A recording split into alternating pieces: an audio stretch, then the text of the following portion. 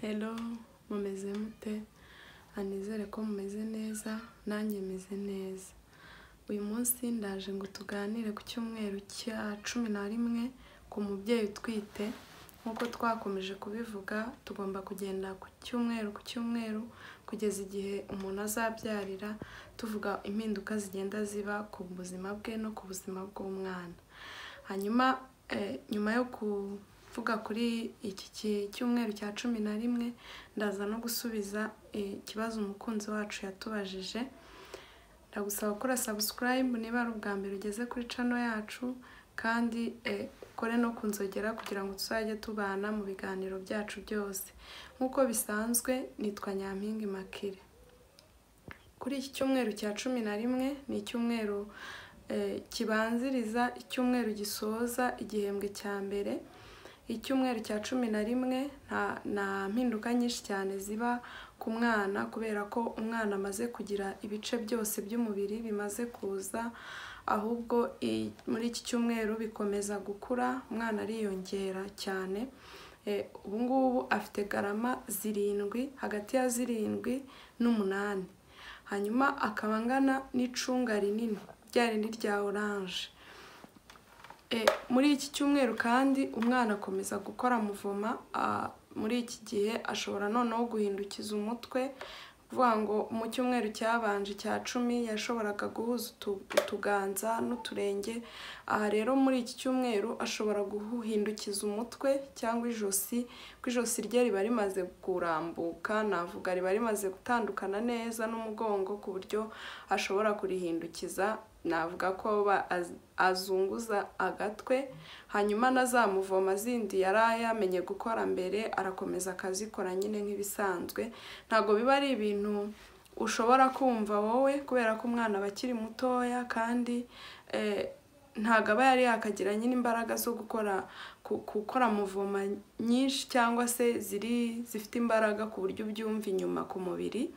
Ariko iyo urebye muri ekogarafi uramubona azunguza agatwe muri iki cyumweru. Hanyuma ikindi muri iki cyumweru umwana atangira kuzana ubwoya ku mubiri akazana inzara ku ntoki no ku mano akazana utumoko tw'amabere mu gatuza ku buryo ahantu amabere ari nyine ushobora kuhabona ndetse akazana n'ubwoya bwo ku mubiri ku buryo umubiri we ntabwo uba ukibonerana cyane nk'uko waboneranaga mbere hatarazaho ubwoya. Muri iki cyumweru rero impinduka kuri mama by'umumama we cyangwa se by'umubyeyi utwite agomba kwitega muri iki cyumweru cya cumi na rimwe. Icya mbere ni uko ugiye kugira ikibazo mu kanwa ku buryo ushobora kujya wiborosa ukava amaraso. Ahangaha ikintu kibitera ni uko urwego rwa coagulation cyangwa se rwo kuvura kw'amaraso ku mubyeyi utwite muri iki cyumweru ruba rutangiye kugabanuka. Ntabwo biba bikabije uretse ko kugenda umara iminsi bigenda byiyongera ushobora kwiborosa ukazana amaraso mu kanwa. Ahangaha bagira umuntu inama yo kwita cyane ku ku isuku yo mu kanwa ndetse no kuri suwe zose kwita mu kanwa cyane kubera ko muri iki cyumweru ni ho hantu hambere hagira impinduka kurusha ahandi ku mubiri w'umubyeyi. Ikindi ushobora kugira constipation kubera ko umwana aba yarazamutse akaza mu nda muri abdomen noneho akaba ashobora gutsikamira cyangwa se akabangamira amara ku buryo atabasha kugogora nk'uko bisanzwe noneho ukaba wagira constipation. Ntabwo ari ibintu bidasanzwe ni ibintu ugomba kwitega muri iki cyumweru. Ikindi ugomba kwitega ni uko ushobora kugira ikirungurira. Ntabwo ari ababyeyi bose bagira ikirungurira ariko biri abantu benshi bagira ikirungurira muri iki cyumweru.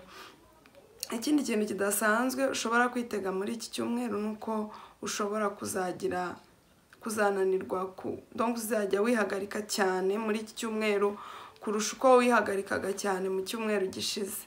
Hanyuma rero muri kuri ibi bintu cyangwa se kuri izi mpinduka zidasanzwe ibijyanye n'ikirungurira twabivuzeho urebe hejuru ikiganiro kivuga ku kirungurira urebe ibyo ugomba gukora. Hanyuma ibijyanye na constipation ugomba kunywa amazi menshi. Byibuze litiro ebyiri ku munsi. Kandi akantu akabazo k'isesemi katangiye kugabanuka ku buryo utagomba kureka kunywa amazi. Ntukajye umara umunsi utanyweye litiro ebyiri z'amazi kandi amazi ntabwo umuntu ayanywera rimwe. Uyanywa gake gake byibuze buri saha ukanywa ikirahure cy'amazi. Kugira ngo ubashe korohereza yamara gukora neza ubashe kwituma we kugira constipation. Indi muti wa constipation ni ukunywa ni ukurya imbuto n'imboga cyane mu ifunguro ryawe rya buri munsi. Ibyo bintu bikaba birimo.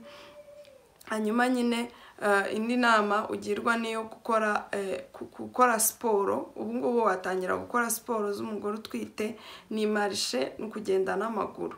Ushobora kugenda n'amaguru umwanya mutoya ariko ntugume wicaye ahantu hamwe cyangwa ngo ugendeshe mu binyabiziga gusa hanyuma uryame utakoze muvoma kuko biri mu bintu bituma ushobora kugira constipation ikamara cyangwa se ikakugora ikagukomerera muri iki cyumweru.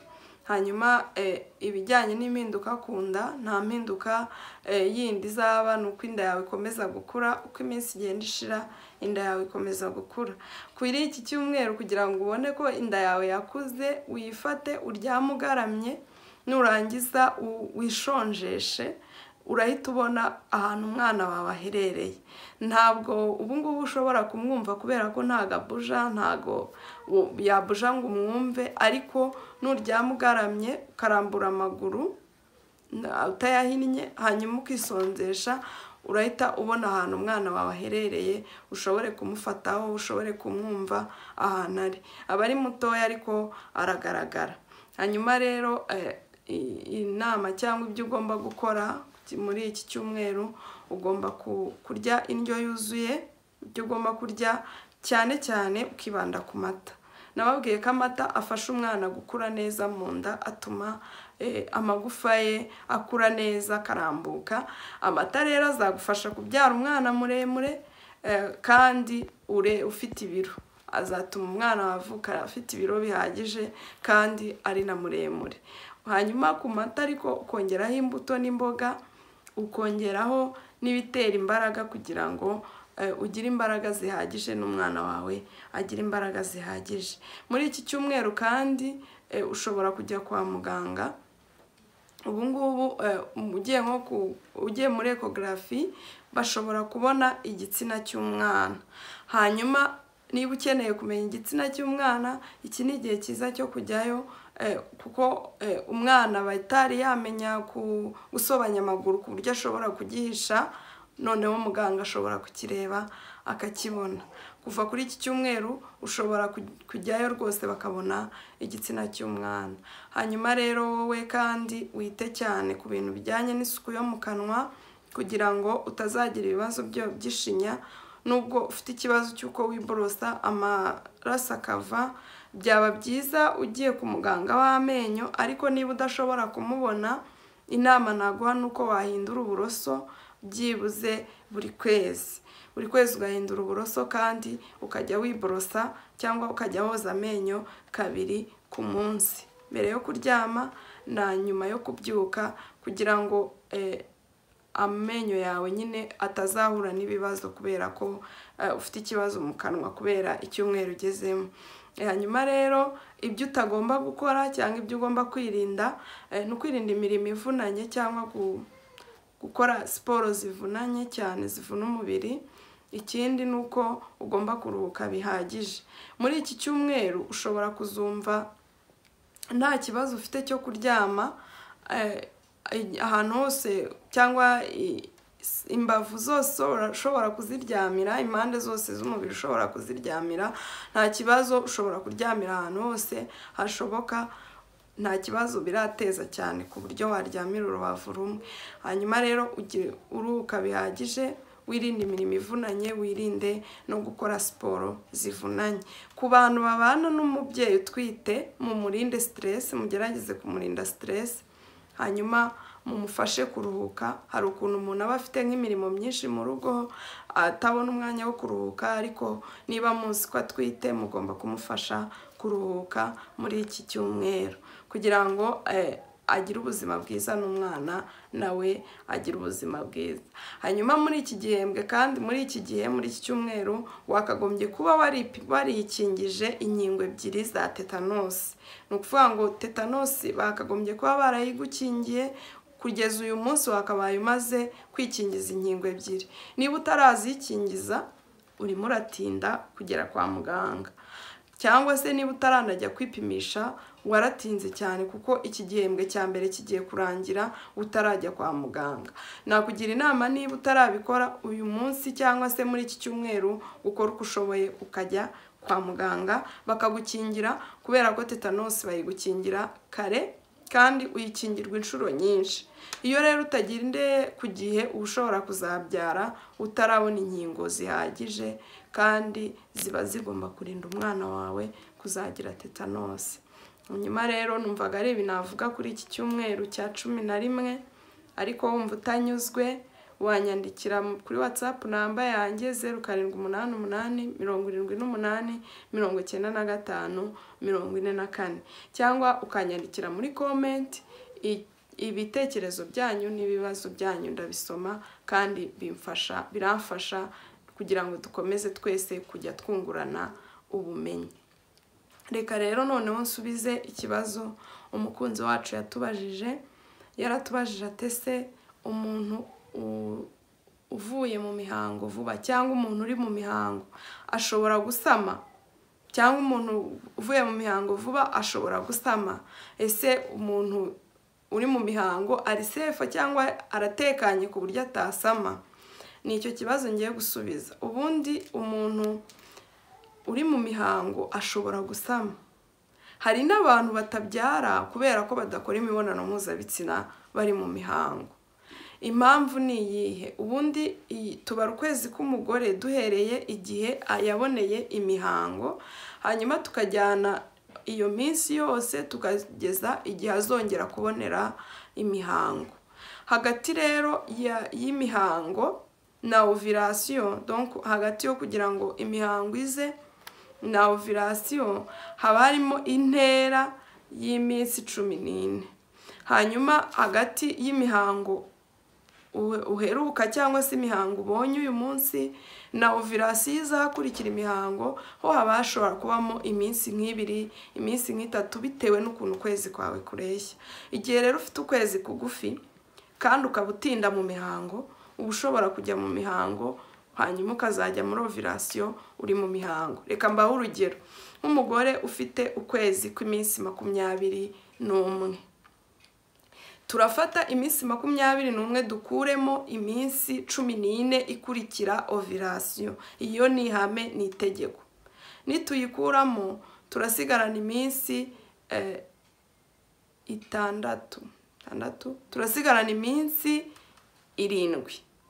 Niba uwo muntu amara mu mihango iminsi umunani cyangwa iminsi icumi kuko na byo bibaho. Uwo muntu ku munsi wa karindwi azaba ari muri ovirasiyo azaba ari mu gihe cy'uburumbuke kandi azaba ari no mu mihango. Niyo mpamvu ushobora kujya mu mihango ukazajya muri ovirasiyo ukiri mu mihango. Ovirasiyo ikaza imihango itararangira kandi ukaba ushobora gusama muri icyo gihe. Niyo mpamvu rero ntabwo umuntu uri mu mihango iteka ryose aba afite atekanye atasama biterwa n'ukuntu ukwezi kwawe kureshya. Hanyuma ku bantu bafite ukwezi guhindagurika biragoye cyane kumenya igihe uzagira mu mihango nako biragoye cyane kumenya igihe uzabonera uburumbuke kandi mu biganiro byabanje harimo ikiganiro nababwiye ukuntu wabara iminsi yawe y'uburumbuke. Ujye uyibara hanyuma umenye igihe ugira mu burumbuke utitaye ngo ndi mu mihango cyangwa si ndi mu mihango. Numva ari ibyo ntawe gusubiza kuri icyo kibazo ariko hari n'undi ufite inyunganizi cyangwa se hari undi ufite igitekerezo yatwandikira muri komenti cyangwa kuri nimero natanze haruguru tukazabigarukaho mu biganiro byacu bitaha. Ndabashimiye cyane ko mwankurikiye mukomeze kugira ubuzima buzira umuze.